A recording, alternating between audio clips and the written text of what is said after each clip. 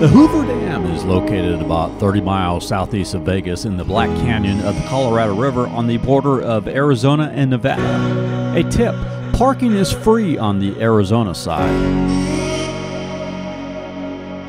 This dam was constructed between 1931 and 1936 during the Great Depression. Originally, it was named the Boulder Dam, but renamed in 1947 for President Herbert Hoover. Its construction was a massive effort.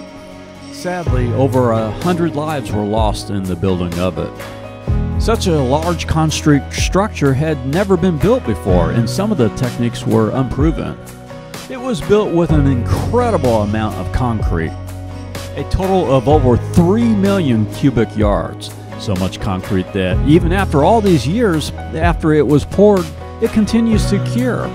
It is supposed to be completely cooled after 125 years.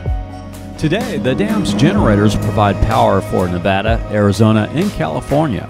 It costs nothing to visit the dam. A tour from the visitor center is $10 per person. Or for 12 to $15, you can get a 30 minute power plant tour, or $30 for a complete one hour Hoover Dam tour.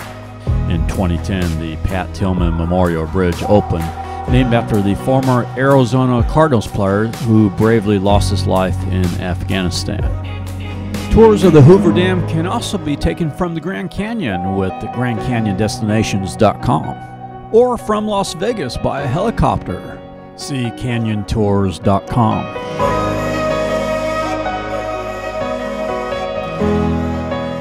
We hope you enjoy your visit to the Hoover Dam. Thank you for watching.